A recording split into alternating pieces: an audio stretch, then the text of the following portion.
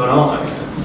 Sí, el equipo está muy bien. Yo creo que llevamos una serie de partidos que el equipo ha conseguido la victoria. Eh, bueno, esa es la línea a seguir. Yo creo que el partido de Cádiz eh, vamos a intentar pues, bueno, eh, seguir sumando y, y si puede ser que el equipo siga arriba.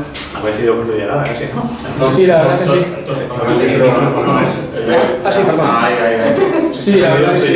Eh, bueno, eh, la verdad que el equipo, ya te digo, está eh, ganando, está sumando y eso es lo importante.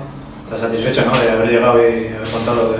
Sí, a ver, estoy satisfecho por la confianza que me está dando el entrenador, eh, el recibimiento que me hicieron mis compañeros. eh, la verdad que está, está todo bien, está, hay- la verdad que ha ido todo rodado, eh, el equipo, ya te digo, está sumando y, y lo importante es que el equipo está arriba. Supongo que esperaréis un partido muy distinto al de la Copa, ¿no? Sí, eh, nosotros, nosotros también lo encaramos eh, de otra manera, eh, sabemos que eh, no ganamos allí en Copa y, y queremos resarcirnos de esa, de esa derrota y poder sumar nuestros puntos. Partidos como el del Sporting, también este del Cádiz, son de alguna manera los que muestran dónde va a estar el equipo, ¿no? Con, con rivales de sentido. Sí, porque bueno, son rivales que se supone que van a estar arriba, son rivales directos, pero bueno, son, yo creo que a partir de ahora todos los partidos son importantes porque eh, el equipo necesita sumar y necesita estar arriba lo, lo antes posible para, para bueno, coger un, un colchón que a lo mejor pues, luego eh, nos puede venir bien.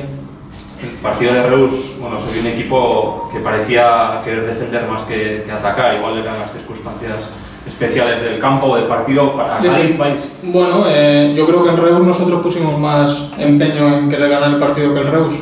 Creo que tuvimos más posesión, tuvimos más, más acercamientos al área. Yo creo que el equipo eh, fue a ganar el partido. Eh, no pudo ser, también teníamos un rival enfrente que, que jugó su, su partido. El campo tampoco estaba en buenas condiciones, pero yo creo que el equipo se le va a ganar y yo creo que, que el equipo estuvo en, en predisposición de llevarse los tres puntos.